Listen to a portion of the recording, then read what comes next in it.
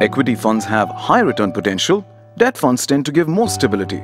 But why invest in them separately? Instead, isn't it better to invest in one fund that will give you the benefits of both? Like a balanced fund, a single fund that invests in equities and in debt. That way you can relax and benefit from both with just the one investment. To know more, call SBI Fund Guru on 1-800-425-5425. Mutual fund investments are subject to market risks. Read all scheme related documents carefully.